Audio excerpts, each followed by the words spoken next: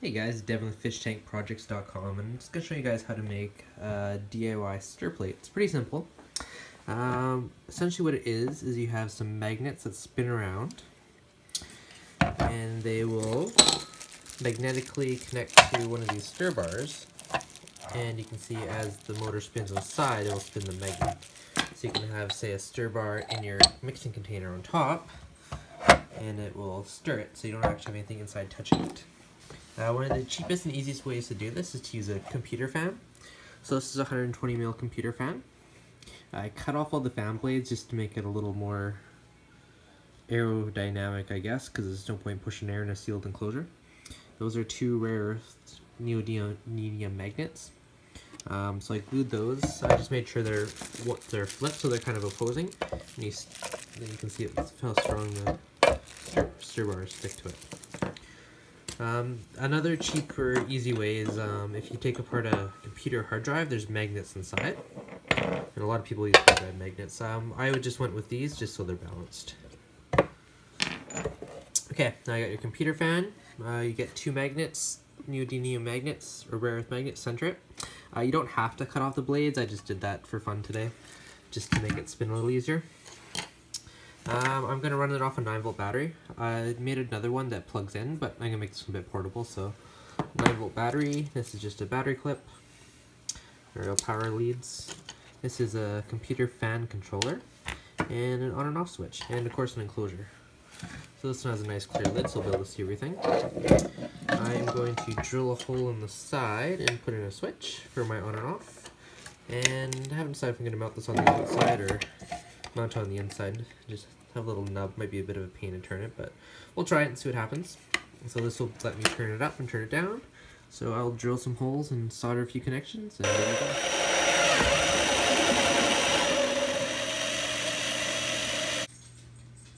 So I got the hole drilled for my power switch, got that popped in, and I got my fan speed controller. However, the little nub barely, with the stock case, it barely stuck out, so it's hard to turn it. So I took it out of its case, and there's enough there that should be fine to turn it. So I'm just going to get this lined up and just kind of hot glue gun this in place just to hold it, so I'll be able to turn the speed up and down from outside of the case. And once we get that, I'm going to solder it all together. Okay, so everything is wired up. It was a bit messy to mount it since that board or the plastic case didn't fit inside and give me room to move it. So it's a bit of a gob of glue to hold it at a bit of an angle so it pops out. But I can still turn it. It's a little stiffer, I think I got a bit of glue on the edge, but aside from that it works, which is the main thing. And when I turn it on, my magnet spin. I can turn it down or crank it up.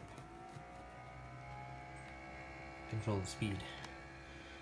So, just for wiring purposes, I have a 9 volt battery. Um, positive goes to the switch, the other positive goes to power for the fan controller. Uh, the ground from the battery is straight to the board, and the output just goes to the fan. So it's pretty simple. So I'll pop it together and I'll show you how it works with a little container with water. Alright, there you go. Our magnetic stir is fully built. It's in its case. Uh, I got my power switch and my speed adjuster. Now the cool thing is, uh, you can get little sets of stir bars. And different sizes, you know, for bigger containers or whatnot.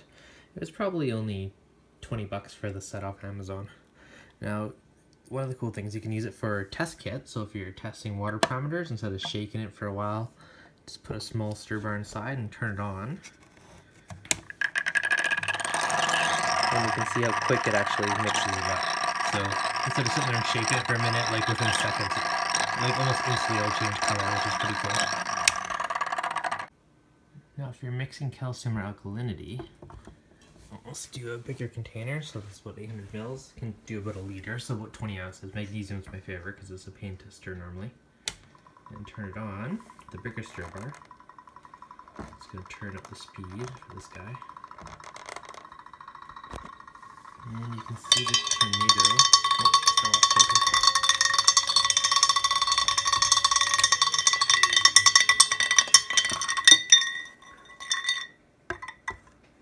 So I either didn't have it centered or I turned it up too much too quick. I'm gonna turn it down a bit, we'll try again.